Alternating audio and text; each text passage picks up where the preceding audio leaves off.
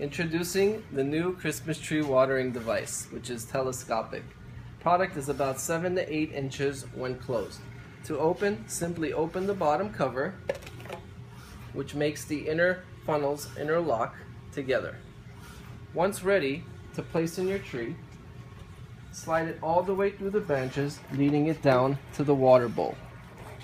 Once in the water bowl, open the front ornament and pour water straight down the, the funnel. Once you are finished, close your ornament up to make it show as if it were nothing there but an ornament. At the end of the season, remove the device from your tree. Slide in each funnel into its case so that it goes back to its original state.